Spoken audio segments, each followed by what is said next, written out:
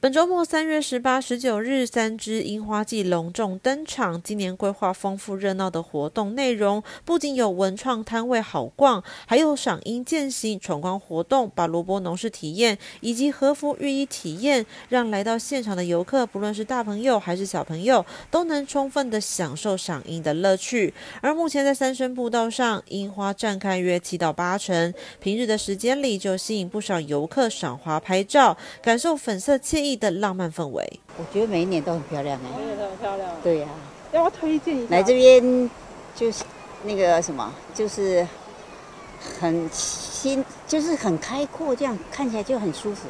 那在我们三生步道，三月中旬是我们樱花开的最好的时候。那有吉野樱，还有昭和樱，都已经陆续的在盛开。呃，在这两天的活动，我们安排了呃地方社团的表演，包括了古筝的表演，以及呃民众可以来体验我们的闯关活动，以及穿浴衣和服的一个体验，在我们这个樱花树下拍照，呃，非常的有这个伪出国的一个感觉。另外，我们也精心布置了这个鸟居的一个灯饰，很有这个日本风哈，欢迎我们所有的朋友都来我们。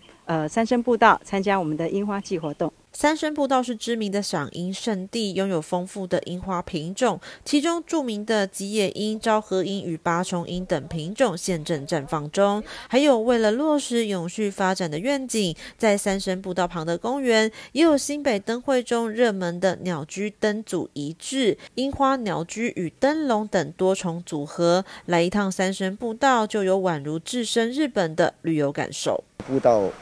其实真的，一个运动很好，很舒服哦，蛮舒服。爱爱爱这个个自然环境哦，情况差都济啦。啊，应应该应该是够较慢的，较慢够开吧。嗯。应该时间会拖较慢的款，应该是这样。大概讲要偌久啊？走。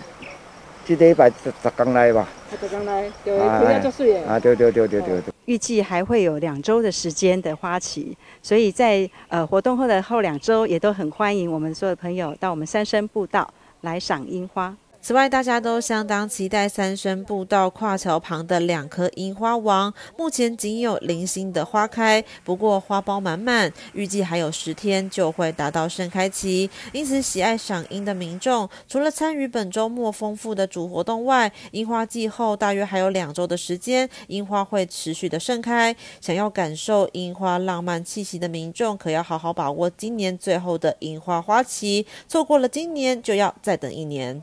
小平含三支采访报道。